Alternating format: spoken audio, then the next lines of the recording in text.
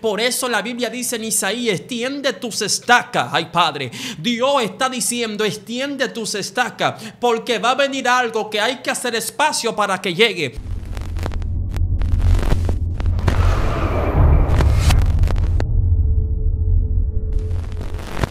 Dios te bendiga y Dios te guarde. Quien te habla tu hermano evangelista Iri de la Rosa. En este segmento, la hora de la unción, creemos que este momento está siendo de bendición y será de bendición para ti, para tu vida, para tu familia y para los tuyos. Así que sin más preámbulo, permíteme leer en Hebreos capítulo 11 una cita bastante conocida dentro de nosotros. Así que no te desconectes, mantente ahí para que seas bendecido con una palabra de lo alto. Dice así en el nombre de Jesús. Es pues la fe, la certeza de lo que se espera, la convicción de lo que no se ve, por, porque por ella alcanzaron buen testimonio los antiguos, por la fe entendemos haber sido constituido el universo por la palabra de Dios, de modo que lo que no se ve fue hecho de lo que no se veía. De modo que lo que no se ve fue hecho de lo que no se veía. Damos gracias a Dios por su palabra en el nombre de Jesús ellas son benditas. Quiero ministrar unos minutos con el tema Celebra tu milagro. Así que por favor no te desconectes para que puedas ser bendecido nuevamente con una palabra del Señor. Celebra tu milagro. Es impresionante ver lo que el Señor está haciendo y está trayendo. Cuando nosotros hablamos de la palabra celebra tu milagro, celebrar es un acto de victoria, de gozo, de júbilo, de regocijo, ya que cuando cumples años, celebras tu cumpleaños. Cuando tu hija cumple los 15 años, se lo celebras. Eh, la palabra celebrar tiene que ver en varias facetas. Cuando te vas a graduar en la universidad, en la escuela, entonces tú celebras ese momento porque es, es un momento de, de gozo, de júbilo. Y a esto nosotros le llamamos celebrar. Cuando alguien recibe una bonificación, un dinero, hace un coro o reúne a varias personas para entonces celebrar ese momento tan prestigioso o ese momento, ese momento tan importante de su vida. Nadie celebra algo si ese algo no marca un antes y un después en su vida. La palabra milagro, milagro tiene que ver contraer algo sobrenatural a la vida de una persona. Por eso la palabra hebrea para milagro es noun, que viene de la palabra nun, y esto significa volver al principio. Lo que pasaba en el antiguo pacto, en el antiguo testamento, cuando Dios hacía un milagro a una persona, era para volver al principio, porque se pensaba que cuando una persona estaba en una enfermedad o necesitaba un milagro, se pensaba que esa persona había cometido un pecado. Es por ello que cuando cuando Jesús sanaba a alguien, le, preguntaba, le preguntaban quién ha pecado de él o su familia para que él esté en esa condición. Sin embargo, Dios, cuando hacía un milagro en el Antiguo Testamento, era para volver a la gente al principio.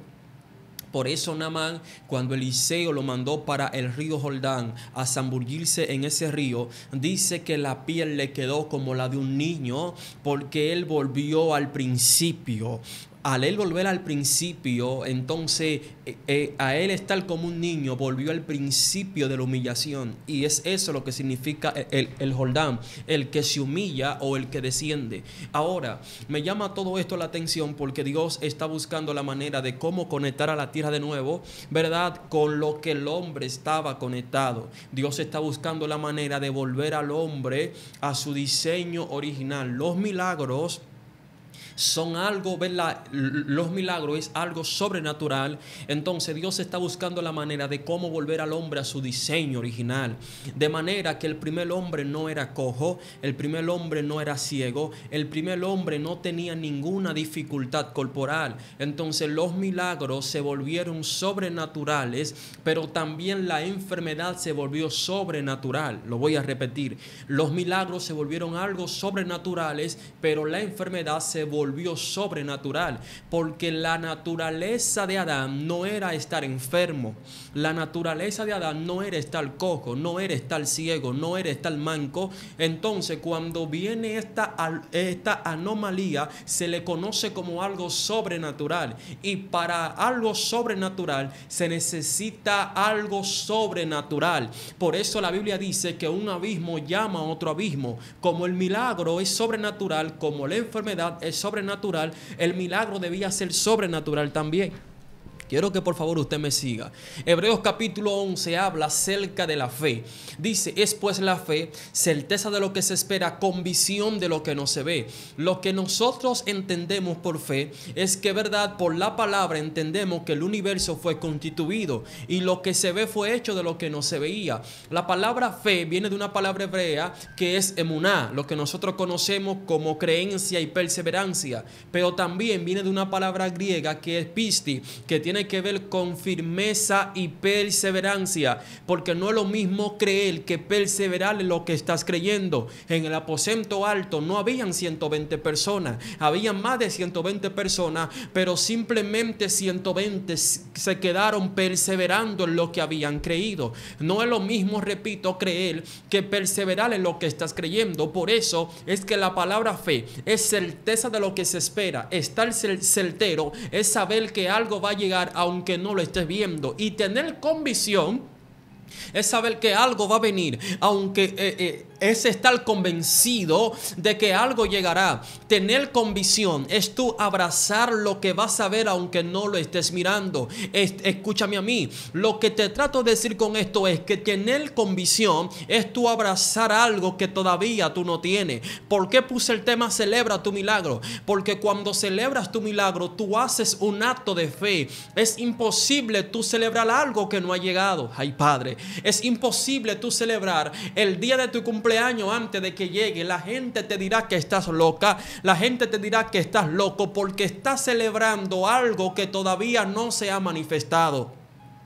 La gente que tiene fe celebran su milagro antes de que llegue. La gente que tiene fe abraza lo que, aleluya, lo que viene antes de que lo tenga. porque Porque celebrar el milagro antes de que llegue es un acto de fe. Es decir, como Cristo, yo sé que tú me escuchas, Padre. Jesús dio gracia por los panes y los peces antes de que se multiplicaran, porque él sabía que se iban a multiplicar. Celebrar el milagro es tú decir, Lázaro, él se va a manifestar antes de que Él resucite. De manera que Jesús celebró el milagro antes de que llegara, dando gracia de que Dios ya lo había escuchado, aunque Lázaro no estaba resucitado. De manera que hablo con alguien hoy que tal vez esté en una enfermedad y esté en una crisis y necesita un milagro. Te tengo noticias, celebra tu milagro. Cuando tú celebras tu milagro, ¿sabe lo que pasa? Tú le estás poniendo una demanda a Dios. Ay, Dios mío, le estás poniendo una demanda a Dios o lo hace o lo hace. Cuando tú celebras tu milagro, tú estás, aleluya, poniéndole una demanda al cielo de que tiene que hacer lo que tú estás celebrando. ¿Por qué? Porque eso no es de humano. Te van a decir loco, te van a decir loca, pero tienes que celebrar tu milagro. Como la mujer del flujo de sangre, tengo que mencionarla. Esta mujer dijo, si tan solo yo puedo tocar el borde de su manto, entonces seré sana. Esta mujer lo primero que hace es, es que ella acondiciona el milagro a su vida, porque ella estaba convencida de que iba a ser sanada. Alguien tiene que entrar en esta dimensión y decir, yo voy a celebrar el milagro antes de que llegue. Yo voy a celebrar a los hijos míos que no son evangélicos. Voy a celebrar a mi esposo que me hace la guerra. La gente que tienen fe, lo primero que hacen es, cuando su esposo no es cristiano, ellos agarran la silla de la iglesia y la ungen. Y dice, aunque él no está aquí, yo lo veo aquí. Gloria a Dios para siempre. Yo unjo la silla donde él se va a sentar. Aunque mis hijos no son cristianos, yo hoy acondiciono el espacio antes de que ellos lleguen. Por eso la Biblia dice en Isaías, extiende tus estacas. Ay, Padre, Dios está diciendo, extiende tus estacas, porque va a venir algo que hay que hacer espacio para que llegue. Nadie recibirá algo si no tiene fe, porque la fe viene por el oír y la fe tiene que ver con creer algo que no se ha manifestado, pero tú estás convencido de que va a llegar. Nadie podrá recibir los beneficios del cielo si no tiene fe. La fe es la puerta del milagro. Hoy, Padre, la fe es la puerta por donde el milagro entra. Si alguien aquí tiene la capacidad de celebrar algo que no ha llegado, es posible que te digan loco, es posible que te digan loca, pero el milagro lo vas a ver porque tú estás celebrando algo que no ha llegado. Y a alguien le estoy diciendo, celebra tu milagro milagro. Aleluya, ya basta de que la gente esté llorando, estén triste. La Biblia dice, hablando de, de que no podemos, ¿verdad? Dar a entender la situación, aleluya, que estamos pasando. Por eso la Biblia dice que cuando tú estés en ayuno, lava tu cara para que nadie sepa que estás en ayuno. En otras palabras, cuando tú estés pasando un proceso, una dificultad, tienes que estar convencido de que la mano de Dios va a entrar a, tu casa y que te va a dar el milagro que tanto necesita. Por ende, deja de estar llorando y de estar quejándote y deja de estar cabizbajo y ponte, aleluya, aceite en la cara, lávate la cara para que la gente y para que las tinieblas sean turbados. ¿Cómo es posible que la sierva esté en esa condición? ¿Cómo es posible que, que ese varón tenga deuda? ¿Cómo es posible posible que su casa está boca abajo? ¿Cómo es posible que él no tenga dónde vivir y él esté como que nada está pasando? Él está como que su vida está resuelta. Diga conmigo, estoy celebrando mi milagro. Cuando tú celebras tu milagro, tú turbas las tinieblas porque las tinieblas dicen, ¿cómo es posible que él está diciendo que va a resucitar cuando no ha muerto todavía? Me llama la atención esto, porque las tinieblas tendrán que ser turbadas cuando alguien tiene fe, cuando alguien dice, yo estoy creyendo el milagro que va a llegar, yo estoy convencido de que va a llegar. A alguien le estoy diciendo que si eres capaz de creerlo, Dios es capaz de hacerlo. Alguien tiene que creer lo que Dios va a hacer en su vida. Alguien tiene que, ay, ay, ay Dios mío, alguien tiene que entender que lo que Dios va a hacer, no hay diablo que lo detenga. Por eso le, yo le vengo a decir a alguien, hay gente ahí que me está mirando que estaba en una condición y estaba pensando que lo que Dios le prometió no va a llegar a su vida. Estaba pensando que lo que Dios te dijo no se va a cumplir y estaba cabizbajo creyéndole al sistema que está totalmente arbitrario al propósito de Dios, creyéndole al sistema que está totalmente en contra de todo lo que tú estás haciendo, creyéndole a la situación precaria. Te traje noticia, tu situación es la oportunidad de que Dios se manifieste. Por eso le vengo a decir a alguien, celebra tu milagro, porque por la fe entendemos que el universo fue constituido para no salirme de este tema. Yo trato de decirle a alguien, cuando tienes fe, tú crees que las cosas van a llegar, porque si lo que se ve fue hecho de lo que no se veía, eso significa que la nada es la oportunidad, la nada es la oportunidad para que Dios se manifieste. Dios no necesita algo para él hacer cosas en tu vida.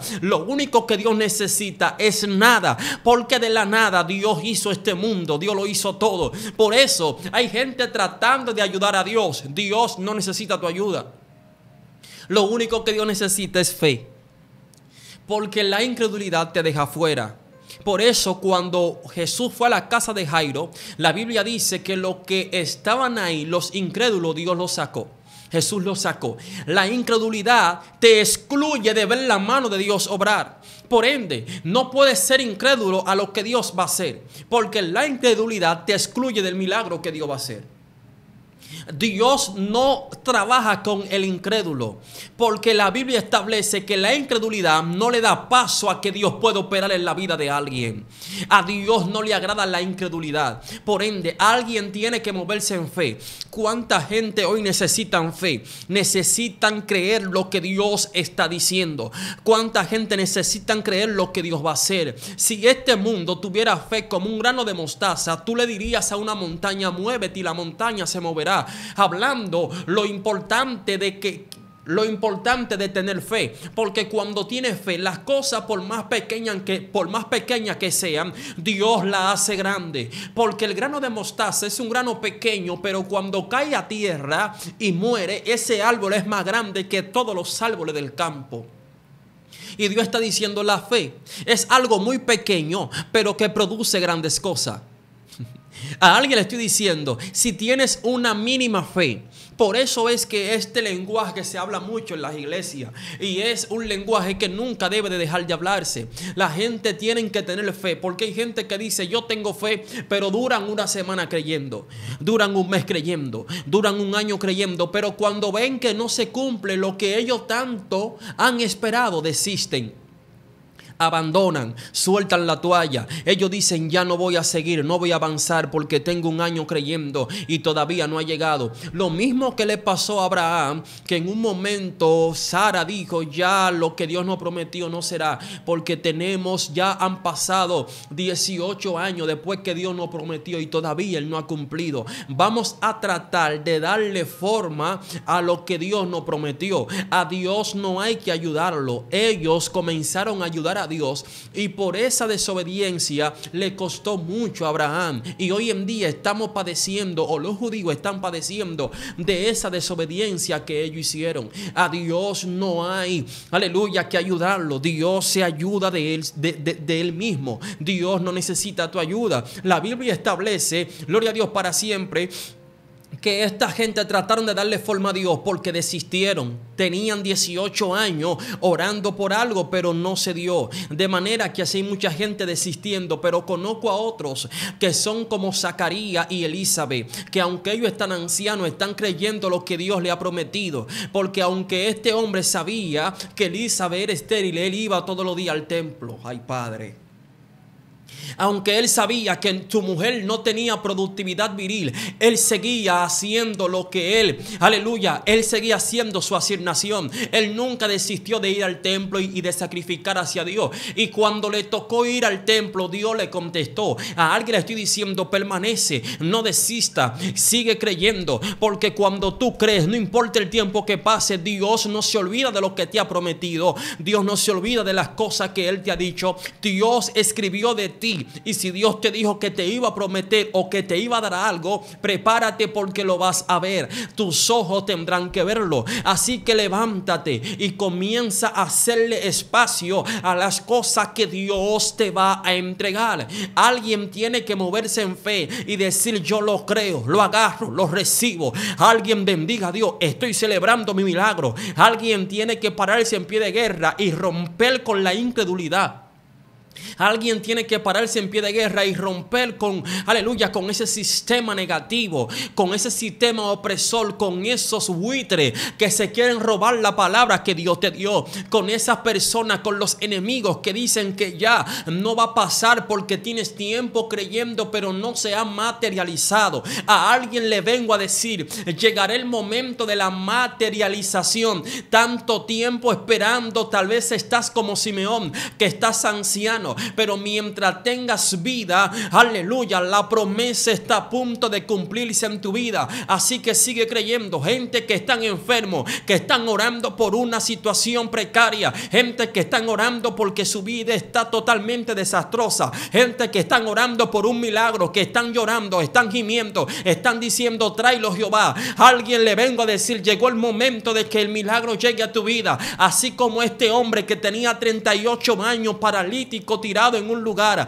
Te traje noticia, el milagro está a punto de llegar a tu vida. Vendrá Cristo totalmente a tu casa, a tu vida y entrará y sanará cualquier área sensible que estés pasando. A alguien le estoy diciendo que el momento de precariedad se va a terminar y el milagro lo vas a recibir. Así que celebra tu milagro.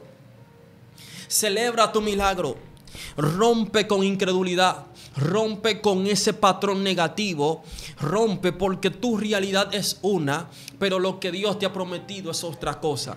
La fe no omite tu realidad. La fe acepta tu realidad, pero por encima de tu realidad, la fe va a cumplir por lo, por lo cual fue enviada. La palabra tiene una orden de no volver a Dios vacía. En el momento que Dios te dio la palabra, la palabra tiene una orden de no volver a Dios vacía. Así que si Dios te dio una palabra, cree en esa palabra. La Biblia establece que Él pagó por nuestras enfermedades para que nosotros no estemos enfermos. Él se hizo inmundo para que nosotros seamos limpios. Él se ensució para que nosotros hoy seamos limpios. Él estaba en una condición de muerte para darnos vida a nosotros. Por ende, yo hoy declaro que sobre tu vida se manifiesta el, el de repente de Dios. Se, se, se manifiesta la benevolencia del Señor. Así que alguien tiene que tomar esta actitud de fe romper con la situación negativa, romper con su realidad y entender que Dios lo quiere hacer. Así que créale un espacio a Dios crea un espacio y actúa en fe. Porque la gente necesita actuar en fe y necesita romper con esa, con esa monotonía, romper con el sistema arbitrario y entrar en fe y decir yo voy por más y yo sé que lo que Dios me prometió va a llegar. Por eso Jesús le dijo a los discípulos, no se muevan de Jerusalén sin antes haber recibido el Espíritu Santo. Si se mueven no lo van a recibir. ¿Cuánta gente que se movieron del lugar donde Dios le dijo que no se movieran? Cuánta gente que abandonaron su posición. La Biblia dice en Eclesiastés, si el príncipe se levanta contra ti, no abandones tu posición.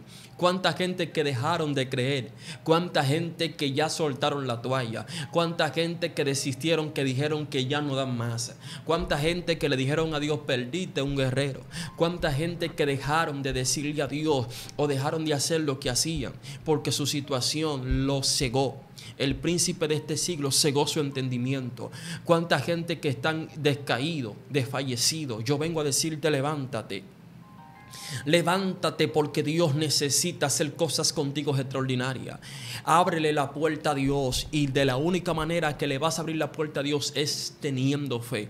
Por eso yo vengo a decirle a alguien, la fe eh, necesita estar en tu vida. El apóstol Pablo habló de niveles de fe y dijo que si alguno no tiene fe, que se la pida a Dios para que Dios le aumente la fe. Yo oro a Dios para que tu fe sea aumentada. Porque cuando tiene fe, la fe hace que lo imposible sea posible. Lucas 1.37, porque nada hay imposible para Dios. Nada imposible para Dios. Y la gente necesita entender que a Dios no podemos subestimarlo. ¿Cuánta gente que creen que porque su situación es totalmente adversa, Dios no lo va a hacer? Que porque su situación que, que, tal vez es la peor del mundo, tal vez tú piensas que ya Dios no te escucha, tú oras, tú ayunas, tú estás buscando respuesta y tú piensas que Dios no te va a responder. Sigue golpeando porque Dios te va a responder en su momento. Dios sabe cuándo tiene que responderte y en qué momento y Dios no te va a dejar solo. Dios no te va a desamparar. Dios está totalmente ahí en tu momento. Por eso me gusta una palabra que utilizan los hebreos. Y utilizan la palabra presencia presente. Ellos entienden que si Dios no le hace un milagro, Dios está presente. Si Dios le hace el milagro, Dios está presente. Si Dios le habla, Dios está presente. Si Dios no le habla, Dios está presente. Pase lo que pase, ellos entienden que Dios está presente. Porque el hecho de que Dios no me responda no significa que Él no está ahí. El hecho de que Dios no hable conmigo no significa que Él no está ahí. A veces Dios se ausenta. A veces tú no vas a escuchar la voz de Dios. A veces Dios no te va a decir tú eres mi hija. Pero tienes que estar convencido de lo que Dios es. Dios tiene que hacerte entender que no puedes amarlo por, por el milagro que Él te va a hacer. Que no puedes amarlo por lo que Él te va a dar. Tienes que amarlo tal y como Él es. Así que yo hoy, yo hoy, hoy, hoy, yo le grito a alguien y le digo, tienes que moverte en fe. Tienes que activarte en fe, porque la fe es aquella que va a traer todo lo que tú quieras, todo lo que tú necesitas. Por, por eso le digo a alguien que la fe es aquella que va a activar todo lo que está desactivado en tu vida. A alguien le estoy diciendo que la fe va a avivar todo lo que está muerto en tu vida. Así como esas cuatro personas, escúchame bien, que agarraron a ese paralítico, dice la Biblia, que lo pusieron por un techo. Y por el techo, dice la Biblia, que Jesús al mirar la fe de ellos, por eso la Biblia establece que la fe de esa gente fue lo que le dio salvación a su amigo. Yo vengo a decirle a alguien, yo siento a Dios en este momento que está hablándole a alguien. Yo vengo a decir, júntate con gente que tengan fe igual que tú. No te juntes con gente que sean incrédulos. Júntate con personas que tengan y hablen el lenguaje de fe. Con gente que hablen tu lenguaje, que digan yo lo creo, lo abrazo, lo recibo como tú. Que gente que aunque vean lo contrario, estén creyéndole a Dios, que aunque vean lo opuesto, estén creyéndole a Dios, que aunque digan, gloria a Dios para siempre, que aunque vean todo opuesto, ellos digan, yo lo estoy creyendo, que aunque vea lo contrario, estoy convencido de que lo que Dios me prometió, no hay diablo que me lo quite, que lo que Dios me dio, no hay nadie que, aleluya, que me haga decir de esto. A alguien le estoy diciendo, persevera. Jesús dijo, aquel que escuche mi palabra, y la ponga en práctica, lo compararé con alguien que edificó su casa sobre la roca. Vinieron, vinieron vientos, golpearon la casa con ímpetu, pero la casa no se cayó Lo que la gente necesita es atesorar, guardar, ¿verdad? Abrazar la palabra que Dios le ha dado. Y entender que por más cosas difíciles que estás viviendo, Dios no se ha olvidado de ti. Dios no se ha olvidado de ti, ni de tu familia, ni de tu casa. Dios no se ha olvidado de ti. Así que yo oro a Dios en este momento para que tu fe no farte. Jesús le dijo a Pedro, Satanás ha pedido para zarandearte, te pidió para zarandearte, pero yo he rogado a, a Dios yo he rogado al Padre para que tu fe no falte. Yo ruego a Dios para que tu fe no falte. Dios no te prometió que no ibas a pasar por una situación. Él te prometió que iba a estar contigo en medio de esa situación. Gracias Señor. En el nombre de Jesús lloro a Dios por tu vida, por tu familia, en el nombre poderoso de Jesús. Padre, aumenta la fe de los creyentes, aumenta la fe de los oidores, aumenta la fe, Señor. Haz que la gente celebre el milagro, aunque no lo estén viendo, que ellos lo puedan celebrar. Que ellos, Señor, actúen como que si ya lo tienen, aunque no lo tengan, que estén convencidos de lo que va a llegar en el nombre poderoso de Jesús. Amén y amén. Quien estuvo contigo fue tu hermano evangelista, siervo de Jesucristo y consiervo de cada uno de ustedes, Eric de la Rosa. Así que este fue su segmento, la hora de la unción. Dios te bendiga y Dios te guarde.